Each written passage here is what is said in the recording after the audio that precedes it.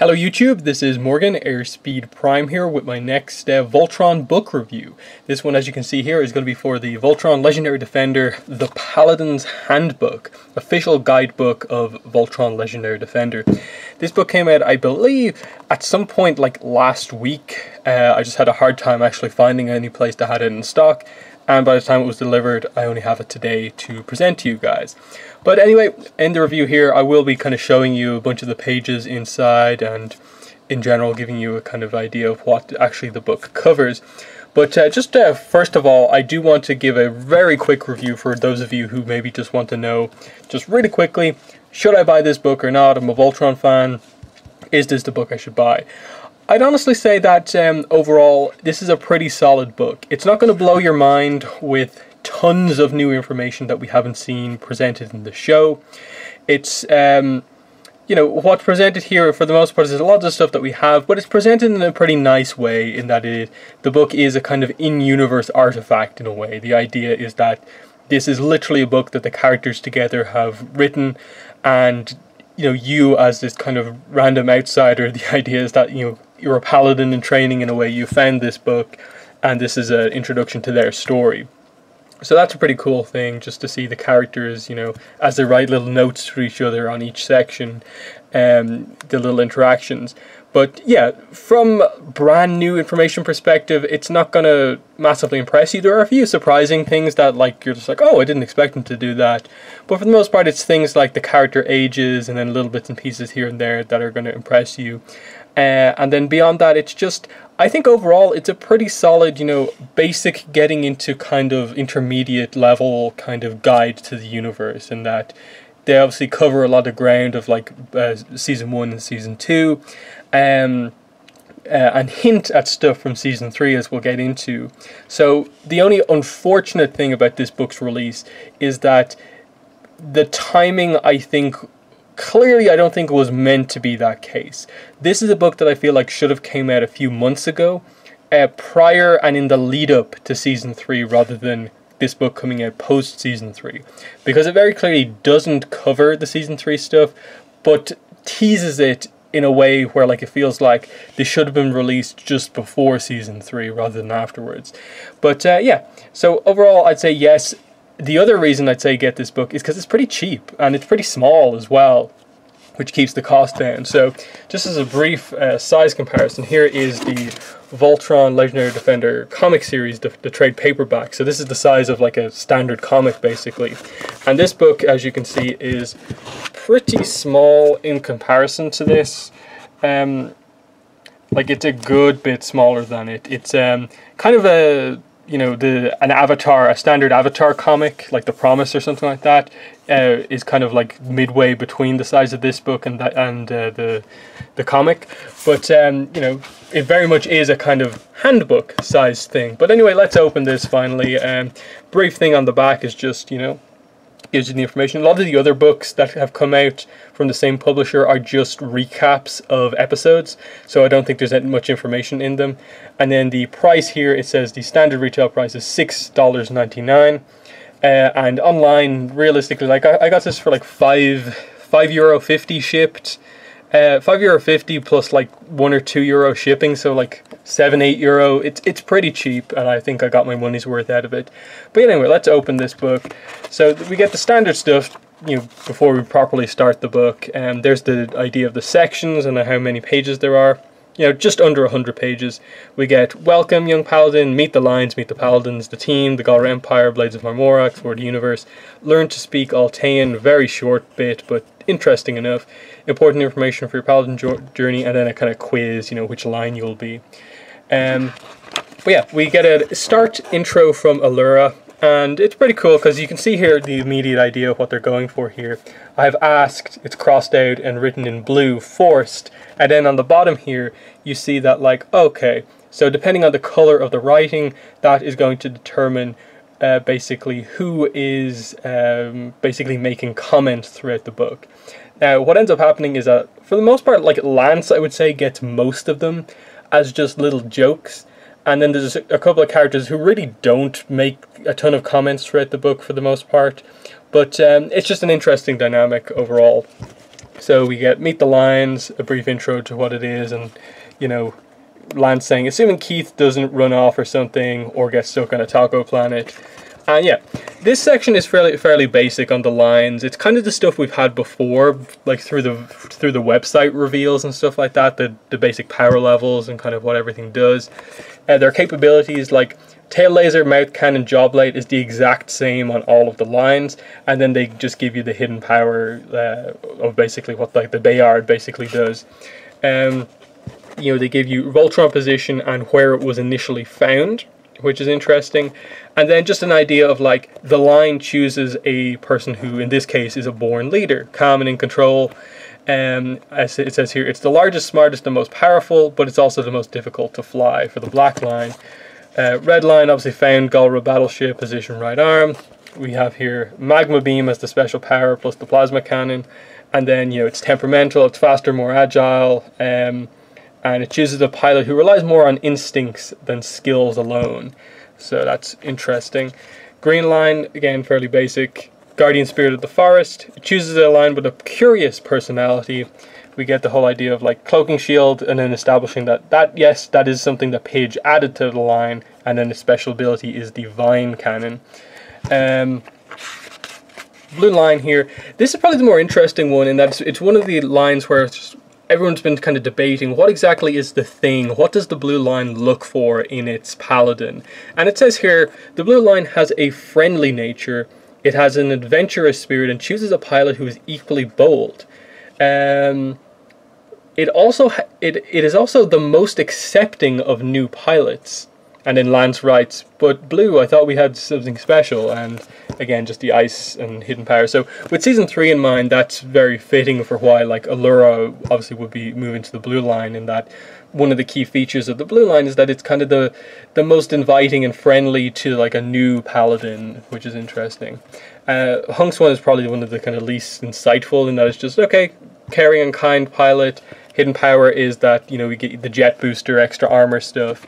And then here we go, meet the paladins, and just some jokes about these specific um, uh, you know pictures that were chosen. Um, and uh, yeah a little joke about if we were a tv show i feel like we would have just finished season two. So it gives you an idea about when this book was kind of meant to come out versus where it is and that like technically if this book's release was like planned in line with everything that should have said season three because the release date was after season three came out um, but here we go. This is some of the more interesting stuff here, the actual paladin profiles. The most interesting thing being that we finally get character ages. So Shiro's 25, which allow, I know a lot of people were kind of wondering like, okay, he's clearly older than the rest of the group, but how much older? And here we get that it's it's a pretty substantial margin, not like huge, but um, that he is notably older than the rest of them as we're getting into, you know. Hunk here writes, Space Dad, oldest and most experienced. Um, and just an idea of basically the basic idea of like his uh, history, like the Galaxy Garrison. Um, he was part of the you know the Galaxy Garrison Kerberos mission, and then some kind of fun facts about him here. You know, champion. He has the the the, the different arm and so on. Here's Keith's profile again. He's 18 here. Uh, the other thing is just uh, heritage. Obviously, like he's they always refer to him as Shiro, but like just getting that like we know his his name, his full name is Takashi Shirogane, but like just getting it mentioned here again, his heritage is Japanese. And then Keith here, it's so random. Like you'd think a big point of this bio would be that he's now part Galra, but it's just like part human, part Galra, and then at the very end they just say Keith is part Galra, but his family history remains a mystery. Um, as, and then here's the thing that gives you an idea that this was written with some context to season three coming out soon Keith ranks second in command to Shiro, and then in red it's crossed out by Keith, and it says it doesn't matter, nothing will happen to Shiro, which is exactly Keith's attitude towards the disappearance of Shiro at the start of season three. So that's um, pretty interesting. You have Lance talking about Keith's hair here, and uh, them kind of talking in the comments. Um, but yeah, very very interesting. Uh, Pidge's profile here again, you know, Katie Holt heritage Italian. I found that pretty interesting. I didn't know that, and nothing about her obviously kind of comes across as like that being a kind of aspect of her. But you know, age fifteen as well. Um, Keith eighteen, as I said. Um, and yeah, just pretty basic stuff, just like that programmer. You know, she loves peanut butter cookies, but not peanuts. Um, the, number five nickname from Coran. Um, eager to find her family, and so on. So that's pretty to the point there. Lance, you know, they, they do call him, uh, as you can see here, class clown. We get his backstory. Age 17, heritage Cuban, which we have known, uh, favorite food, garlic knots. Um, and then fun, fun moment, moment here. Lance owns a pair of fuzzy blue lion slippers, and then um, it's Shiro in the in the kind of purple here who writes, "Actually, we all do. Lance just wears his the most," which is a pretty interesting one. Hunk uh, Heritage Samoan, which um, you know it, it, it's very fitting. It makes sense. Um, age seventeen as well, so he's the same age as Lance, and uh, you know Hunk has an encyclopedic knowledge of Earth's uh, spices and growing understanding of herbs from other places. Um, and uh, yeah, just again, basic stuff that he threw up at the academy, but uh, he was the one who kind of allowed them to find the blue lion in the first place. Here's the page on the Bayards. Um, nothing really notable here. They do cover the Black Bayard and just say that it transforms into a bunch of different things uh, without giving much context. Here's the Voltron page. Again, just pretty basic. You know, Voltron more powerful than anything. Full stats. Um, it seems like there's a bit of an editing mistake up here with the sword stuff, in that it says sword formed from the red paladin's Bayard. Okay. Um, when combined with the blue and black Bayards, the sword grows in size and strength, and then immediately followed by that, the green Bayard forms the sword. Sword formed from the red Bayard. The green Bayard forms the sword. I get that you know the effect when Voltron summons its sword is that it's the, the hands coming together and the hands are the red and green lion, but that is a it feels like it's a really weird structural way to kind of say that. Um, and then it just gives you the other weaponry of Voltron. Um, here's the team. We get the, the King Alfor one, and this is, I suppose, where the book, like, if it was including the season three stuff, if the book came out a little bit afterwards, we would there would have been so much more information on King Alfor. Like, they don't even mention that that he's the red, uh, the red lion pilot. That he's the original red um, paladin here, even though that was basically revealed to us in season two. I think Coran said it. Um, we get Princess Allura here. They they do the fact files differently for the characters who aren't the paladins, but they do say here and teenage daughter of King Alfor, and given that they later on reveal, I suppose you know the time stuff in that they're basically referring to yeah she's a teenager, and even in um, Altean time it still means she's a teenager. Like there's no real difference between that stuff. So. Uh, find it weird that they don't give her an age, but like I'd assume probably that she is probably 18 or 19. Um, I'd probably go more with 19, just that she is a little bit to say just to say that she is a little bit older than the rest of them. Um, maybe going on 20 just to be just because I suppose going with the flashback in season 3 it would make sense to have like the gap in time for Allura to grow and then like a the whole revenge of Zarkon to come into play happened like 20 years later. But, um, you know, some interesting stuff here. Um, it says here, you know, Allura thinks that the Earthling's ears are hideous. Um, telepathic connection with the mice. Um, super strength, chameleon-like ability. Uh, able to absorb and channel large amounts of quintessence, of course. Here's Coran. Um, you get the full name here, Coran uh, Hieronymus Wimbleton Smith or Smythe. Um, his grandfather built the castle 10,600 years ago, um, and then some stuff here in his own kind of uh, pen. Here's the stuff on the enemies, uh, just Hunk joking about space music, uh, and then, you know, just an interesting note here the Galra are a militant, generally written in by Keith, obviously based off the, the big change that happened in the middle of uh, season two with him on that front. Um, there's a brief hierarchy of the Galra Empire Zarkon, Haggar, and the Druids, commanders, just giving you an idea of where Haggar is. Um, Zarkon, you know, they do, they do obviously, because it's after season 2, reveal original Black Paladin and so on, but nothing overly interesting here. Um, just the basic stuff. Haggar's interesting in that obviously they, they say recently she reveals herself to be an Altean, something that surprised even Princess Allura. and Allura notes Coran and I thought we were the last Alteans. Um, and you know they, they they tease this thing a strange connection to the Emperor Zarkon. Um, her powers are great. She harnesses quintessence. Um, I think with Zarkon they also say, um, yeah, his impressive longevity is due to an overconsumption of quintessence, which is what we knew. Um, the Druids. This is probably one of the more interesting pages in the book, uh, just because the druids are given like literally no context in the show when they're presented in that when when they're when some of them are defeated in the final battle in season 2 they just kind of puff into dust and they, and in this description here they basically say that they're not Galrans and it says here although technically not Galra they've been loyal to the Galra for 10,000 years. They perform rituals such as channel and quintessence. So that's interesting that like they're just this other type of species that it's not that like um, made them or anything like that that they're just this other thing. I, I'm wondering is there any connection between the kind of darkness material thing from the other um, reality that's related to the druids or what but um, very interesting that they can you know channel quintessence and so on that's their kind of role then the commanders uh, Sendak from the first season Prorok of course um, get uh, some idea about the Robeast. And then it is interesting that there is a page on Lotor, and they do show, even though it's sort of uh, kind of faded out to some degree, it's an accurate portrayal of Prince Lotor as we know him in season three. And they just say we don't actually know anything about him, just that he exists. Um, so there's that. Here's the Blades of Marmora. Again, nothing really established more than what we already know with them. Uh, just that they're you know a secret organization. Um, and that Keith is now a member, which we know of from season three. And then we do go over the members of the um, the Blades that we know. Kolivan is the leader, of course. Ulaz. Reading this page, there's no real new information, but they the, the context that they give to it and the way they write about him here, it really kind of makes you go like, actually, yeah, like as a as a Shiro says, we owe everything to Ulaz.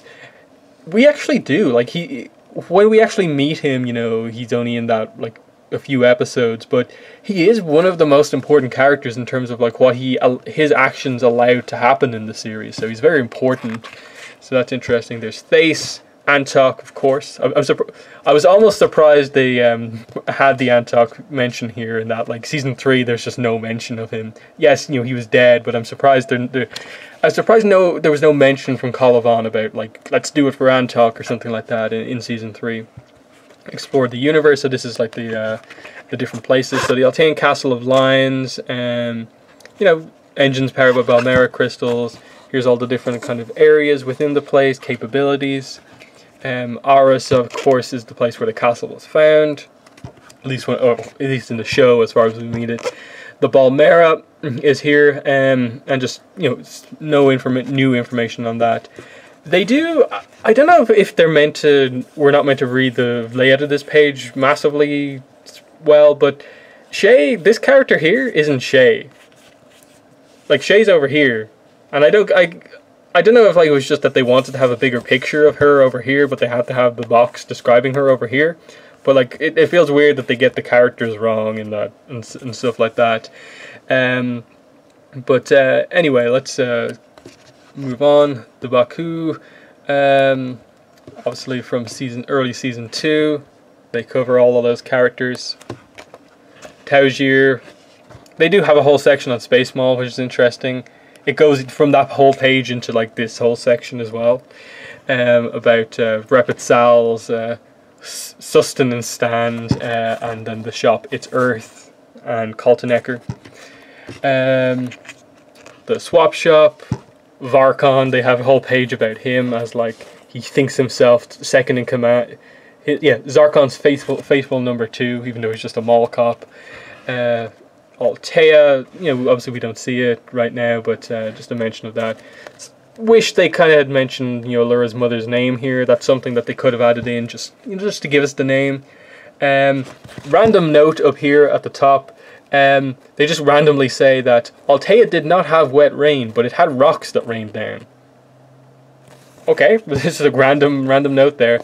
Uh, also, I don't know if we knew this before, but they do name the uh, the mice here. Um, uh, in, the, in here, as you see, Chuchule, Chulatt, Plachu, and Platt. Uh, I don't know if we had their names before. Interesting that they do have a section on the Galaxy Garrison. Um, I get you know the the connection of most of the paladins coming from here, um, all of them having some connection to it, except I suppose Allura basically because of where how things went in season three. But I just like that they mention it here and gives me hope that like when we go back to Earth, I I would hope that the Galaxy Garrison you know are aware of like more stuff that's going on here because they mention here you know Galaxy Garrison Confidential that like this is like a a report that the Garrison has made about the Kerberos incident, and they mention here, and it seems like it's from the Galaxy Garrison's perspective, is now believed that the astronauts were captured by the Galra Empire. So, like, immediately it's just like, okay, wait, if the Kerberos mission was to find life in the galaxy, how are they then aware that they're named after the Galra Empire? I get like Shiro was kind of maybe saying some stuff about it, um, but it's just an interesting one for sure how they do it. Learn to speak Altean. Now, I, I, I turned to this page and was just like, oh cool, we're going to have a whole section on this. And it's like, mm, it's not as good as you think. But here's the units of time. So a decaphoebe is just a year. That was an interesting one to find out there. I, I was wondering, like, does it mean like 10 years? Uh, a phoebe is a month, a movement is a week, a quintant is a day, a varga is an hour, a dobosh is a minute, and a tick is just a tiny bit longer than a second. So that's nice to know. If anyone mentions decaphoebes, it directly relates to one year the different animals that Pidge kind of went over. Um, Quiznak is basically a curse word. Um, Vrepa sa, military salute. Um, and then just random kind of just ending of the book here, quintessence, what it is. No real information given, just that, you know, this is why Zarkon has his 10,000 year life. The Teludav, Fraunhofer lines, um, the Weblum.